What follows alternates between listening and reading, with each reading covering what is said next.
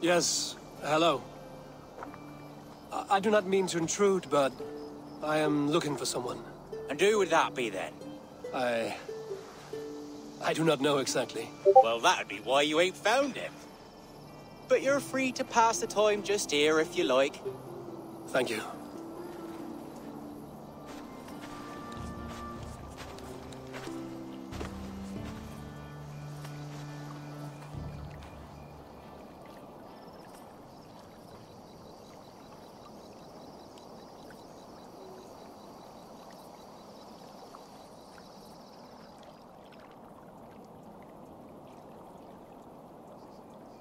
These are soul cakes, love.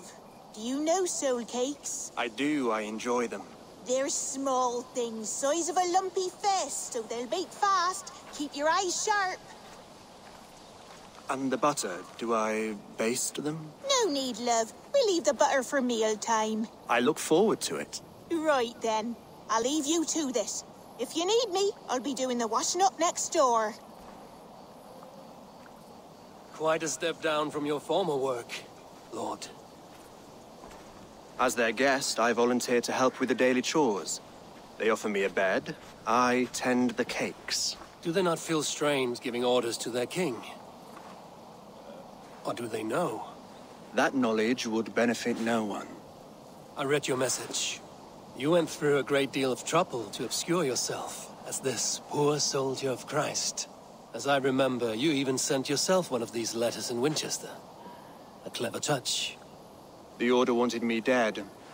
I had to be careful. You said you knew nothing about the Order then. Pled ignorance. But you knew everything.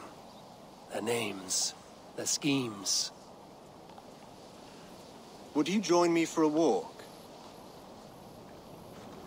You look well, Eivor. I am.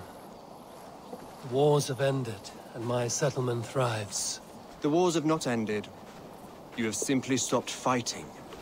But men are brewing plots in mead halls and bedrooms. You will see. And how are you, Alfred? Getting used to the idea of being unremarkable? I am well. Better than I expected. In this exile, I have found a somewhat nourishing peace. Each morning, I am awakened by the sun and growling cormorants. I bathe in the chilly water of the marsh. I eat from shrubs and drink from buckets. It is a good life. Simple. Blessed. I've never been so far west. I find it quite peaceful here. Calming. I have traveled a long way to hear one name, Alfred. Who is the Order's Grand Magister? Tell your shadowy friends that England is swept clean. Your work is done. You? Grand Magister was not a title I desired. It passed to me on the death of my brother. From my father before him. Defilers of God's majesty and grandeur. I was their master, and I loathed them. With Goodwin, I set a plan in motion to destroy the Order from within. But my troubles with the Danes delayed that plan.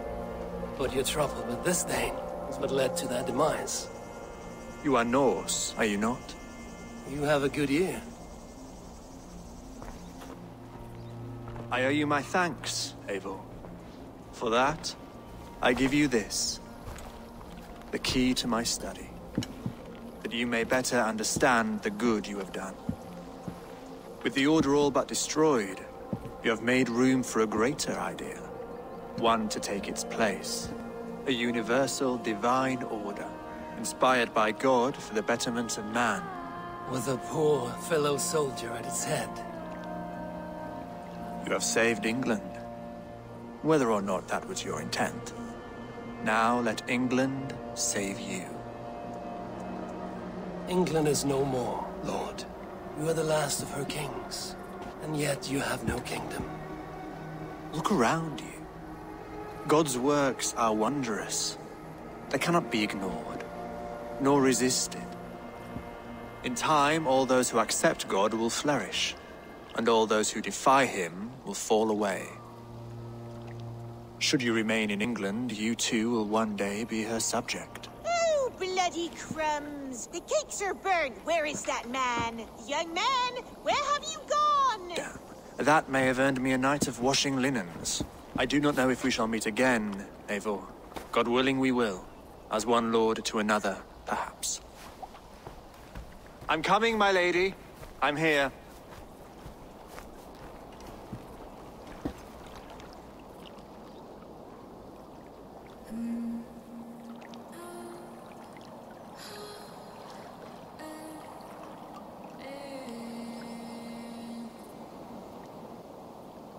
Alfred gave me a key to